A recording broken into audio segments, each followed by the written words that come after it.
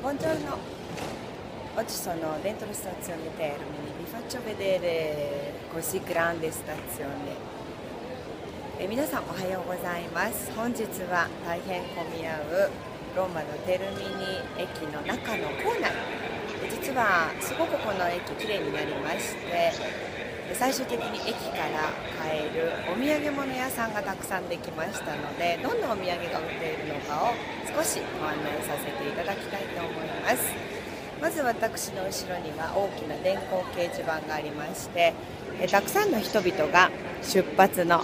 駅を待っていますがもし早く出たら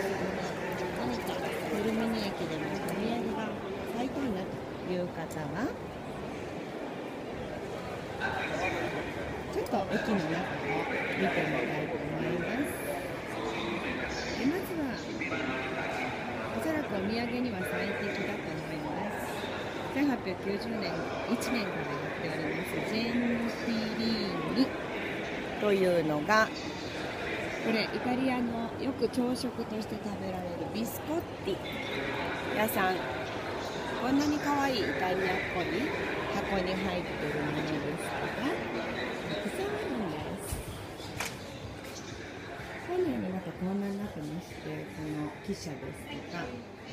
ございますね。こういったビスケット。なんとね3ユーロとか。で箱には買えることができますちょっと缶のやつも高いですけどね。こういったのもお土産になってしょうね。こちらがやはり可愛らしいビスコッティ屋さんやケーキ屋さんがあります。またちょっと奥の方に行ってみますとこっちにはりイタリア最近マックもどこにでも入っていますまたこちらがバブと呼ばれます、まあ、日本にもございますけれどもねこのバブのシャンプーですとか石鹸ですねそれが売っているお店もありますこちらは意外と日本に売っていないダブのねデオドラントなんですこれもイタリアのメジャーです。またここがアルジダというのがイタリアの有名なジェラート屋さんです。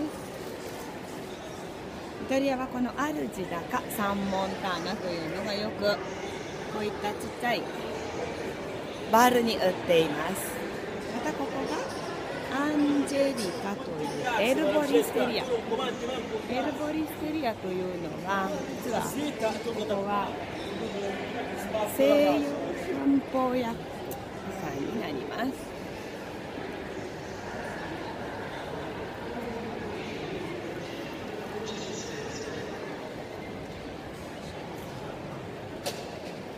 それではまた。